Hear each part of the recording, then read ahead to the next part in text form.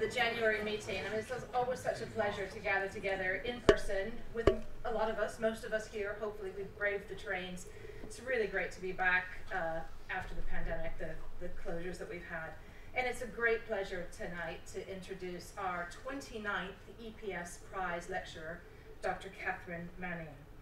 Kathy completed her PhD in 2014 at the Center for Research in Autism and, and Education, or CRAE, at the Institute of Education in London. Her doctoral work investigated visual motion processing in typically developing and autistic children, and this led to a large number of very high quality publications. And since then, Kathy has secured highly competitive and independent funding including a Sir Henry Wellcome Independent Fellowship, looking at visual processing in typical and atypical development. Kathy's work has combined multiple methods and introduced rigorous new paradigms into autism research, allowing her to challenge popular theories and offer new explanations of perceptual performance in autism. The quality of Kathy's work has been recognized through a series of prizes, including the International Society for Autism Research Distinguished Dissertation Award and the APS Rising Star Award. Kathy's been very active in public engagement and wider research leadership, particularly in open science. And in both of these domains, her, the impact of her work has been recognized through prizes and external funding. For example, through the award of a Wellcome Trust Enriching Engagement project, looking at how public places can be challenging sensory environments for autistic people. Now, for those of you um, who are new to the EPS, who are visiting as guests, I just want to say that the EPS Prize is an award that we give to a highly accomplished young scholar within six years of the award of their PhD at the time of nomination. And really, in this context, looking at Kathy's CV, the quality and breadth of her contributions is just stunning. And I'm sure that Kathy will consider the award of the EPS Prize as a great personal achievement, but it's also a testament to the quality and breadth of British experimental psychology to have such accomplished early career researchers leading research in our domain. So we're really delighted to have you here. Kathy is our EPS Prize lecturer, and we're really looking forward to what you have in store for us tonight.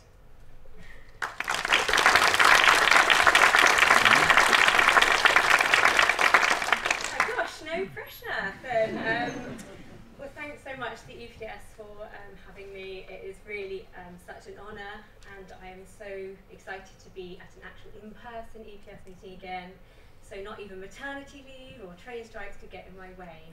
Um, and I just wanted to say, I, I, mean, I'm feeling quite overwhelmed right now, but um, thank you so much, Lou, for um, organising such a fantastic symposium just now, and all of the wonderful speakers it's just been um, really, really amazing. So thank you so much for your um, time, your presentations. So I'm going to talk about, um, so I'm now at, at University of Reading, but I'm going to talk about mostly work that I did um, at the University of Oxford on a Wellcome Fellowship. Um, but even before then, when I was doing my PhD just around the corner at CRAE um, uh, UCL. So it's really nice to be back here as well on that kind of personal level. So we'll start with autism, um, as that's where I started with my re research during my PhD.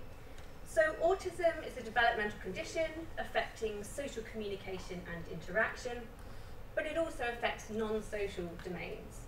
Um, and this includes differences in sensory processing.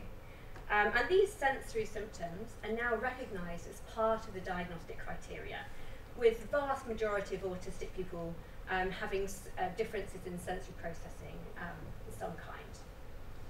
And sensory symptoms are found for all sensory modalities, but a few examples from vision are that autistic people um, may be overly sensitive to fluorescent or flickering lights, um, or perhaps autistic people may seek out visual stimulation, so maybe enjoying watching moving objects like fans or um, perhaps flickering fingers in front of eyes.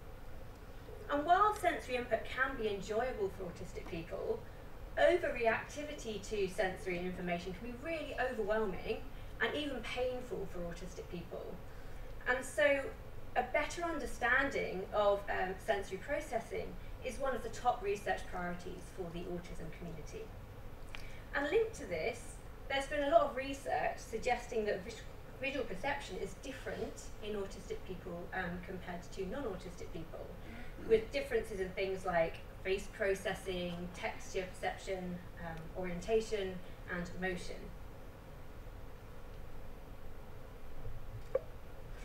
So motion processing is one area that has been studied extensively. So this is a motion coherence task, where you have a proportion of dots that are moving together in the same direction. So example here is that the sun going downwards, and then the remainder of the dots are moving in, in random directions. And a threshold is taken as the minimum proportion of dots that need to be moving in the same direction in order for the overall motion to be seen. And it has been found that autistic people generally need more dots to be moving in the same direction in order to see the overall motion um, compared to typically developing observers. And one of the most common explanations for this is that autistic participants tend to focus on details, um, like the individual dot motions, and then they struggle to combine the individual dot motions together in line with a weak central coherence account of autism.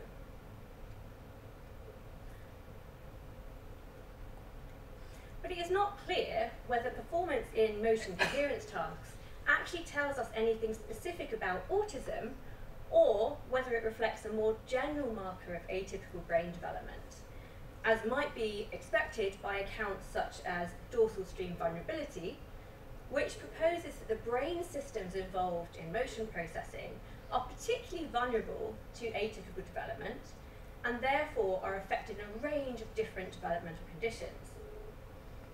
And um, we've been talking about this in the symposium, but this question about condition specificity is important to our understanding of shared etiologies across conditions, as well as whether we might expect um, atypical visual processing to have a causal role in the development of um, developmental conditions. If visual processing is affected in the same way in all conditions, then maybe a causal account is unlikely. And it's definitely the case that um, motion coherence thresholds have been reported to be higher in a range of other developmental conditions besides autism. So dyslexia, Fragile X, and Williams syndrome, for example. But it could be that motion coherence thresholds are elevated in these conditions for a range of different reasons. Currently, um, few studies actually make direct comparisons across conditions using the same um, tasks. There are some exceptions. And additionally, the tasks that are used may not be sensitive enough to actually differentiate between different developmental conditions.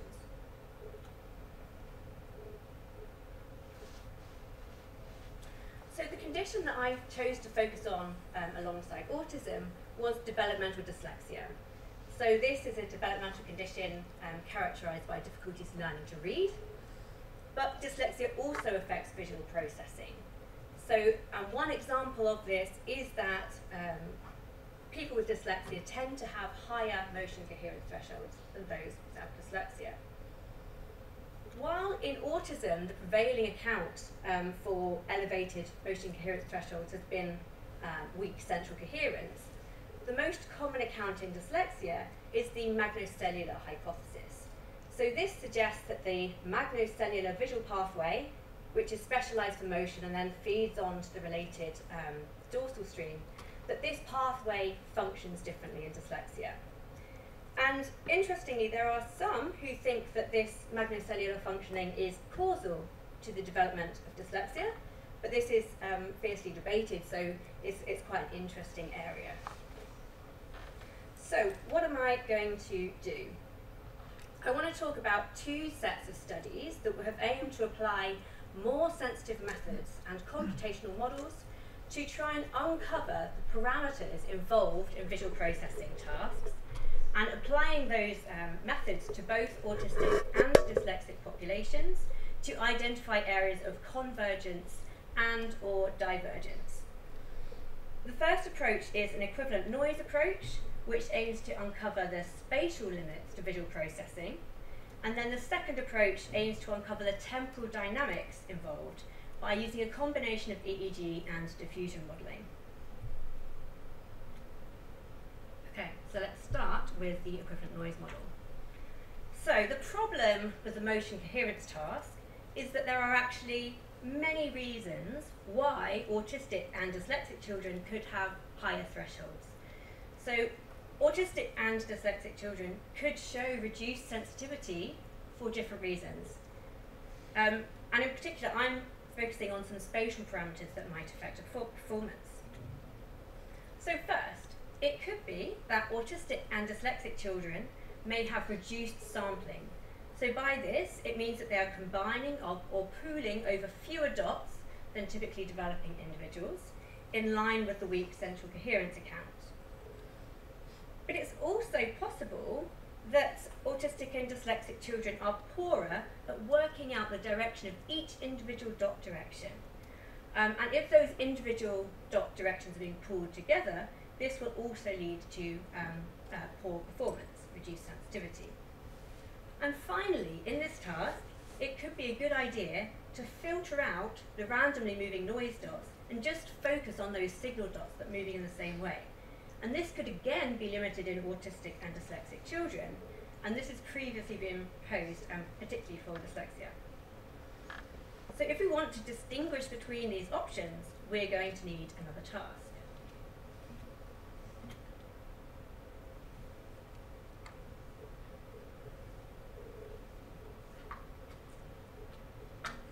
Some water before I go into the task, it's complex. Um, okay, so the other task um, we can use is a direction integration task, where rather than having separate sets of um, noise dots and signal dots, which I've highlighted in red here, um, you have uh, the dots taken from a single Gaussian distribution on each trial. And so we make it harder by just increasing the standard deviation of the dot directions um, in, in this task. So children are still working out the overall motion direction, but in this task, the optimal strategy is to average everything. Um, there's no randomly moving noise dots that need to be filtered out.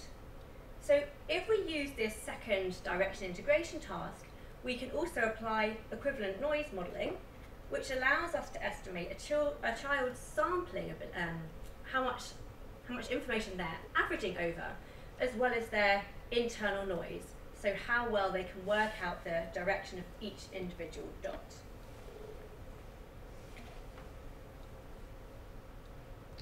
So this um, diagram explains the concept. So the idea is that variability in our performance is determined both by external noise, so noise in the stimulus, and also noise inherent in our nervous systems, internal noise. And the idea is that we can manipulate the variability in the stimulus the external noise to get an estimate of our internal noise.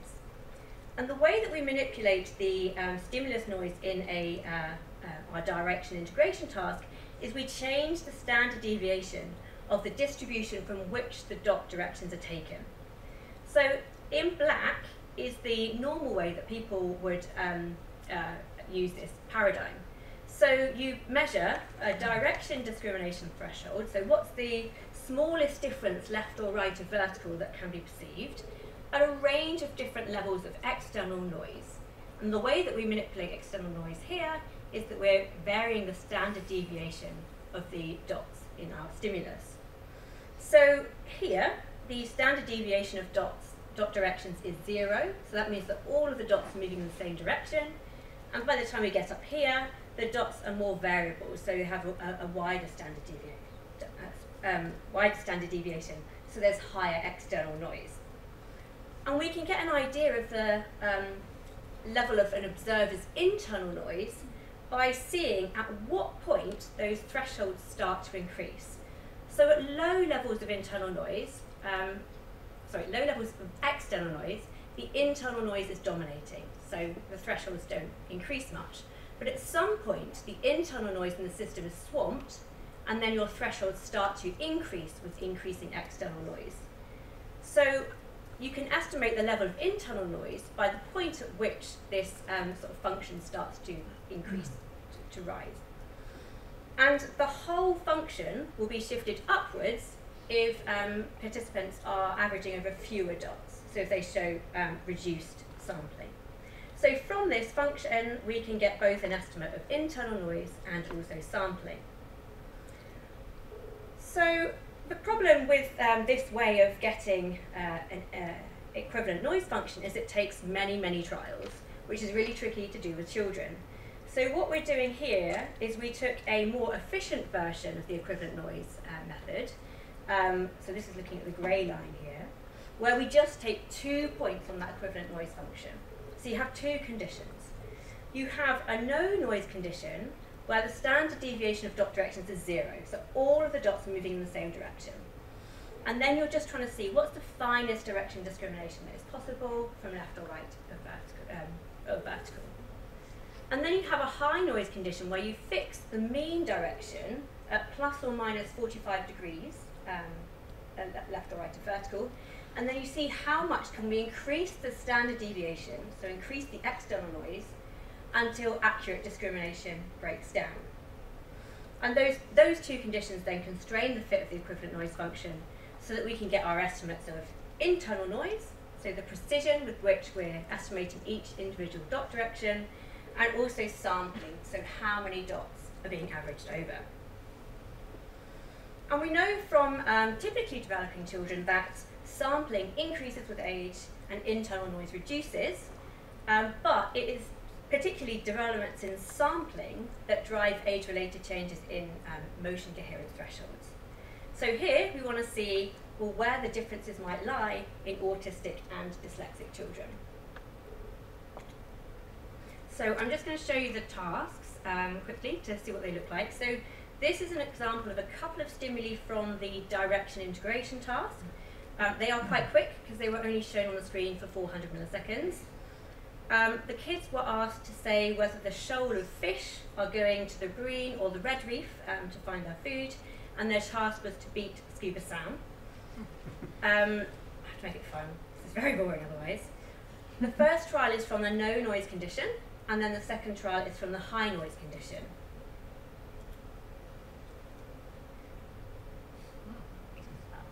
Okay, so no noise and then high noise. So the high noise one is really tricky. The mean direction is, fi uh, is fixed at plus or minus 45 degrees, but it's difficult because the standard deviation of dot directions is so um, large. And the exact stimulus intensities were chosen using an adaptive staircase method um, called Quest to find the thresholds. We then also presented a standard motion coherence task at the same time for comparison. So here's a couple of examples of stimuli, um, one with high coherence and one with low coherence. Um, and this task was presented as a shark attack game, so children had to say whether the shoal were hiding from the shark in the red or the green rocks, and they were playing against the shark.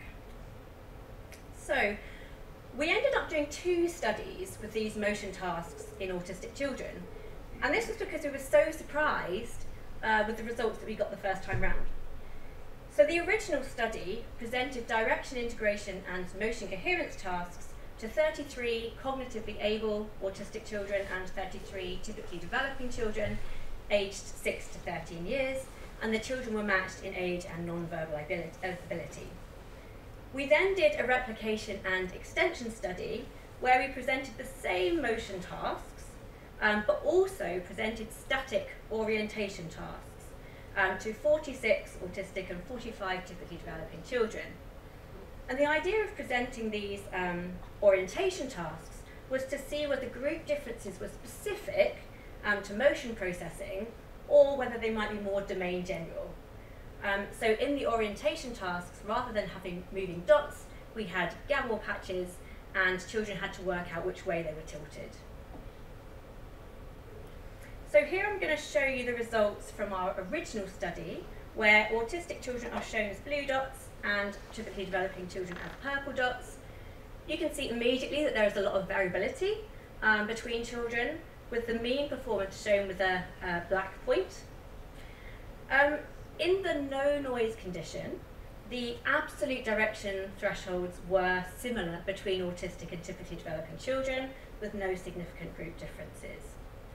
Now, we were expecting autistic children to have difficulties integrating the motion signals in the high noise condition. But instead, we found that the autistic children were able to work out the average direction over a greater range of directional variability um, in the stimulus than typically developing children. So they actually showed enhanced integration ability.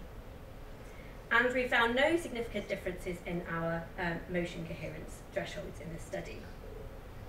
When these thresholds were fitted with an equivalent noise function, we found that there were no significant group differences in internal noise, um, but that the autistic children had uh, significantly increased sampling, suggesting that they are able to effectively average over more dots than typically developing children. Now, increased sampling should lead to uh, reduced motion coherence thresholds. So, why is it that we don't see a benefit from this increased sampling in the motion coherence task?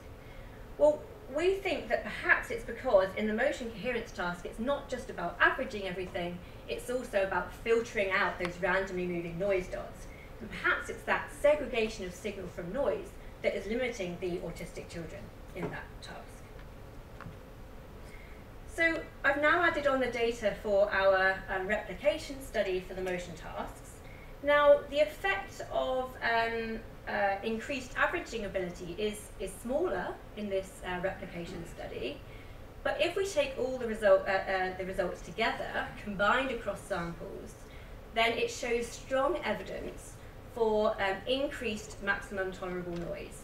So the meta-analytic Bayes factor is 20, so this suggests that there's 20 times more evidence in support of group differences than um, the null hypothesis.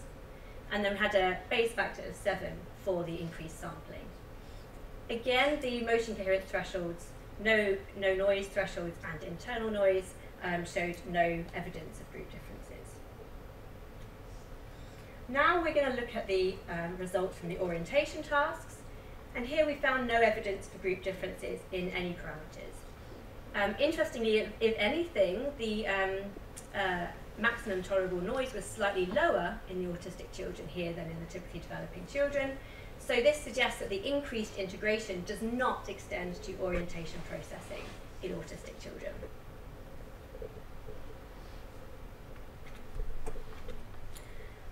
We later then applied this same paradigm to children with dyslexia as part of a registered report.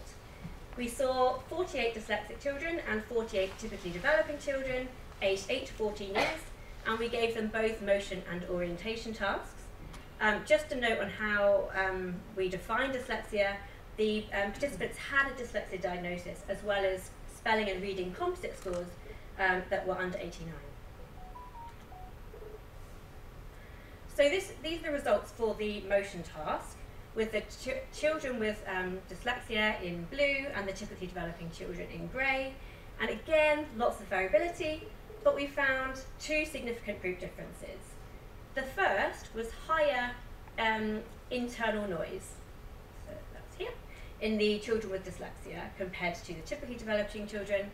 And we also found um, higher motion coherence thresholds in the children with dyslexia. So this is interesting as it's a different pattern than, than we found in autism. So here, the ability to estimate individual dot directions is affected, but not the sort of more global ability to integrate over um, dots. And then looking at the um, orientation tasks, here the only significant difference was that orientation coherence thresholds were higher in children with dyslexia. Um, so if we compare that to the autism data, there we found no evidence of orientation processing differences. So it's a little um, recap. In the motion tasks, autistic children showed increased sampling compared to typical children, but no significant differences in internal noise, whereas the dyslexic children showed increased internal noise compared to typical children, but no differences in sampling. Meanwhile, in the orientation tasks, the autistic children showed no evidence of differences, but children with dyslexia had elevated orientation coherence thresholds. So the equivalent noise approach has helped to uncover differences between these two developmental conditions. Okay. So now let's go on to the um, uh, temporal dynamics. Part. So, there are actually multiple um, dynamic processes that are involved in making a decision about which direction stimulus is moving in. So if you were in the symposium beforehand, Guy was talking about this in her, her talk. So in our motion coherence task, what do we need to do? Well, first, we need to do some basic sensory encoding. We need to perceive those white dots against the black background, and then we need to accumulate evidence about which direction these dots are moving in. We can't do it um, straight away. We've got to sort of combine information over time until we have enough evidence that we are ready to make a decision. And then once we've made that decision, we can go ahead and make a response. And work from monkeys shows that neurons in MT/V5 process the motion signals, so the momentary evidence, but it's neurons in parietal areas that seem to show an accumulation to bound. So, so this is basically a kind of build up of activity um, before the decision is made. So we wanted to know um, which stages of processing are affected in autistic and dyslexic children. So to address this, we use two methods which are sensitive to the multiple dynamic processes that contribute to responses, diffusion modelling and EEG. EEG is temporally sensitive and you can look at um, activity linked to both early stimulus processing, so shortly after you've put something on the screen, as well as activity locked to responses. But let's start um, just talking about the diffusion model. So whereas our equivalent noise model just focused on the accuracy of responses, the diffusion model jointly models both accuracy and response time distributions to break down performance into distinct processing stages. And the idea is that when presented with sensory information and required to make a decision between two choices, the observer accumulates noisy sensory information um, until, uh, over time, until they reach one of two decision bounds. So um, in, in a motion task, these decision bounds could be um, left or right if you're deciding which direction the motion is going in. And there are three main parameters in this framework. So the first is drift rates. So this is the rate at which that noisy sensory information is accumulated towards a uh, uh, decision bound. So this can vary as a function of the stimulus. So if you have a stimulus with a stronger evidence strength, so um, for example a stimulus with a higher motion coherence, then this drift rate will be um, higher, you'll have a steeper accumulation of evidence. But it's also a measure of sensitivity, so this it also varies between observers. So someone who's more sensitive to a stimulus will have a higher drift rate. We then have boundary separation, which is how far apart those two decision bounds are. So if those bounds are narrow, then a person doesn't really need much evidence before they're happy to make a decision. So there are people who are more likely to emphasize speed over accuracy. Um, so they will be likely to make more errors, but they'll be going quicker. If you have those boundaries further apart, people are being a little bit more cautious. So they want to get more information before they're happy to make a decision. They're therefore likely to make fewer errors, but they'll be slower. And then so far I've been talking about the decision-making process, which is um, shown at the top of this figure here. But outside of that decision-making process, we also have non-decision um, processes, including um, uh, sensory encoding and also um, uh, response generation. And those um, two are combined into a single estimate of non-decision time in this um, model. So what, why, why would we use this um, model? Well, the first uh, good reason is that it's been shown that group differences in these model parameters are actually more sensitive um, to group differences than looking at either the response time or the accuracy alone. And also, um, it's been shown that the model parameters relate well to neural measures, so we can link different levels of explanation. And in our typically developing children, we found that drift rate increases with age, while boundary separation and non-decision time reduce. So what did we expect might happen for our autistic children? Well, our pre-registered hypotheses were that we expected reduced drift rates in the motion coherence task And this was following previous uh, reports of reduced sensitivity um, to motion coherence in autism. But conversely, we expected autistic children to have increased drift rates in our direction integration task following our previous um, study that suggested improved averaging ability in this task. We predicted that autistic children would show wider response boundaries, so they would basically be making more cautious responses than typical children, um, and this was following the results of previous studies. Oops. And we predicted longer non-decision times than typical children, again following previous work. And then we also wanted to do some more exploratory analyses to look at the relationship between these par parameters and EEG. Okay. So to test these hypotheses, we saw 50 autistic and 50 typically developing children aged between 6 and 14 years, and we asked them to complete both motion coherence and direction integration tasks, as before. We then did hierarchical Bayesian diffusion modelling on the accuracy and response time data to estimate our um, parameters. The hierarchical part means that there were both individual participant level parameters and also group um, level parameters. And this is because we didn't have all that many trials that would typically be used for diffusion modelling. Um, so hierarchical models mean that you can get away with um, fewer trials essentially because you're um, shrinking your um, each participant's estimates towards the group mean. And um, actually, I say we did the modelling. Um, Nathan did the modelling, and he was actually a blind modeller. So that meant that I gave him a blinded data set where I mixed up all of the group membership and he then designed the models based on that data so that he wasn't going to be biased by the group membership and our hypotheses that we were testing.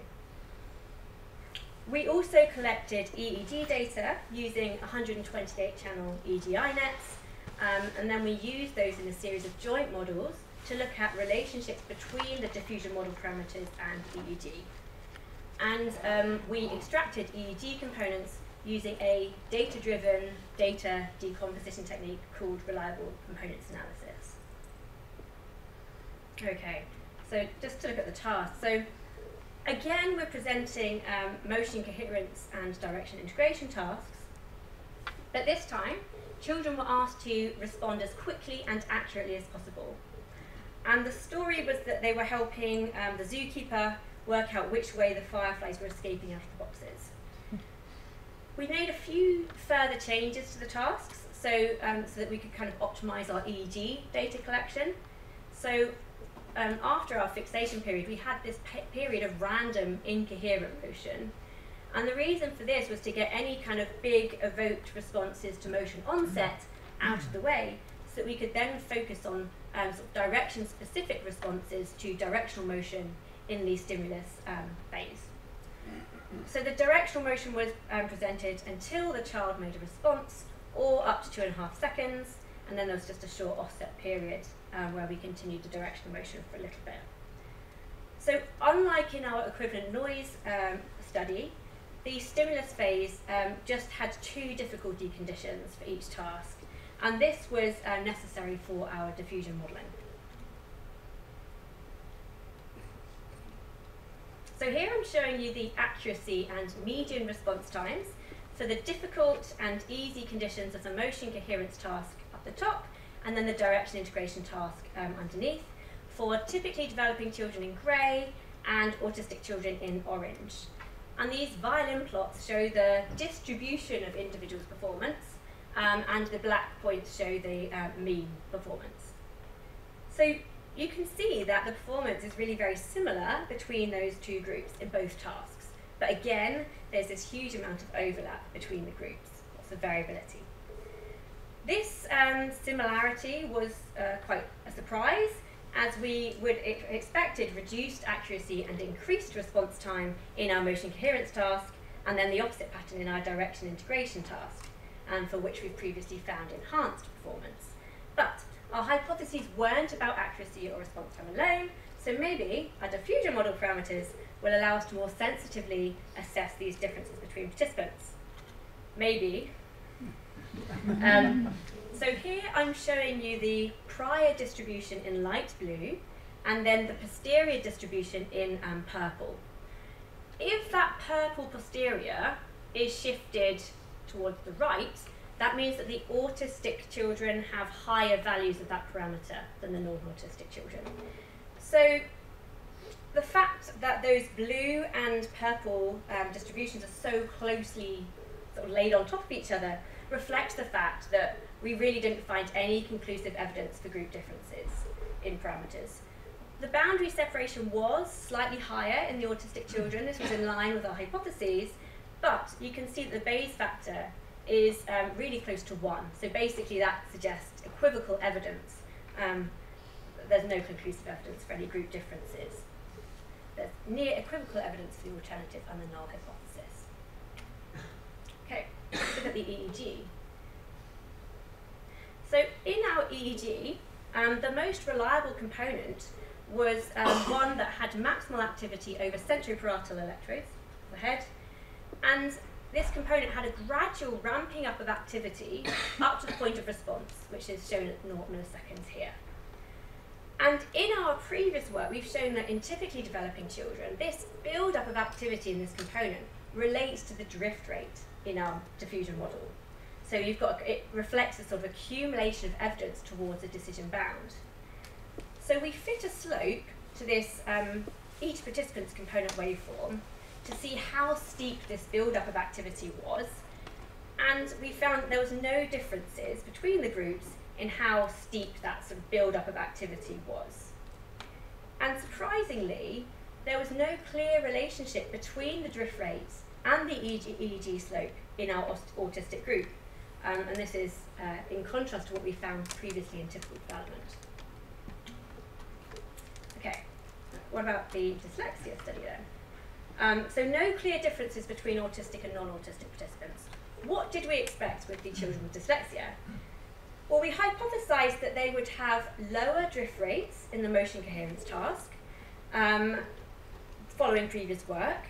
We were less sure what to expect in the direction integration task, but we thought that they may have a lower drift rate in that task if they, um, children with dyslexia have general difficulties with processing motion information.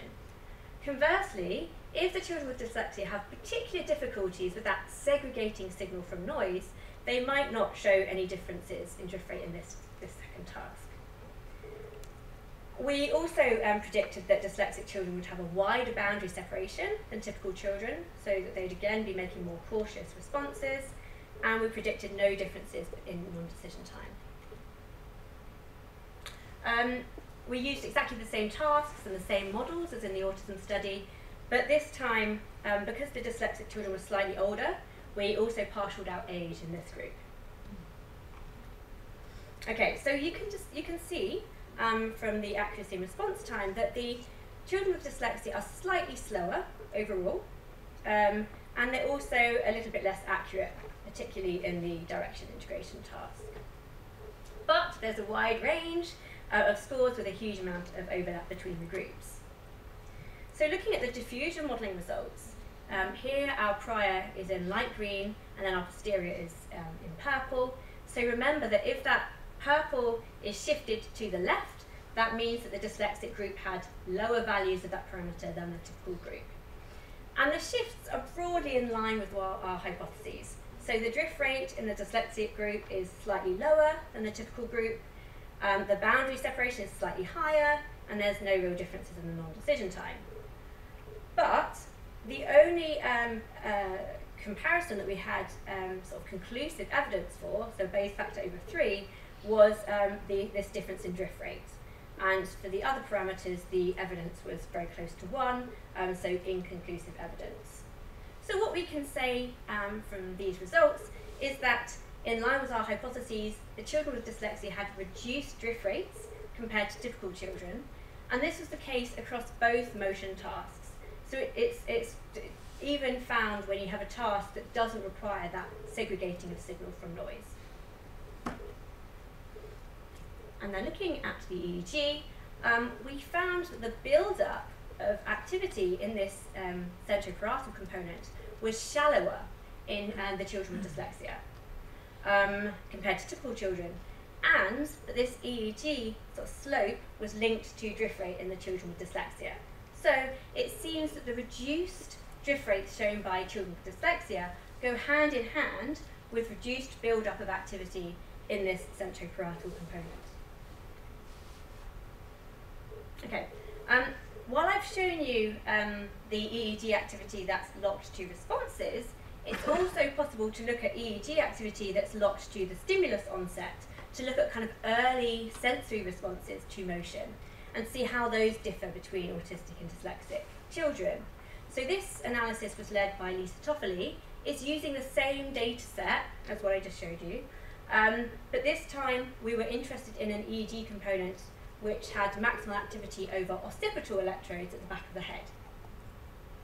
And what we found was that there were no group differences in early time points, reflecting kind of early um, uh, stimulus encoding, um, particularly at this N2 negative peak, where we're expecting to see group differences because that's that peak has previously been linked to motion processing. So there were no differences in early time points, but we found some group differences at later time points, around 430 milliseconds after the stimulus had been presented. And this was specifically in the direction, um, sorry, in the motion coherence task, but not in the, the direction integration task. And it was for both autistic and dyslexic children who showed increased amplitudes at those later time points. So we have thought perhaps um, this dif difference, specifically for the motion coherence task, may reflect difficulties segregating signal from noise in both autistic and dyslexic children. So, summarising all of the studies, I hope I've shown how equivalent noise approaches, diffusion modelling and EEG can provide insights into the spatial and temporal parameters that affect visual processing in autistic and dyslexic children. Despite the fact that motion coherence thresholds have been reported to be elevated in both conditions, these paradigms actually suggest some syndrome specificity. In the autistic children, we have reported an increased ability to average motion information, um, and then no evidence of differences in orientation tasks, and no evidence of differences in our diffusion model parameters. Meanwhile, in our dyslexic children, um, we have found increased internal noise for motion processing, as well as elevated motion and orientation coherence thresholds. In the diffusion model para um, uh, paradigm, we found reduced accumulation of evidence um, so this suggests that there's generally reduced sensitivity to motion information in both tasks, regardless of requirements to segregate signal from noise. And this reduced drift rate was um, linked to a shallower buildup of activity in a centroparietal EEG component.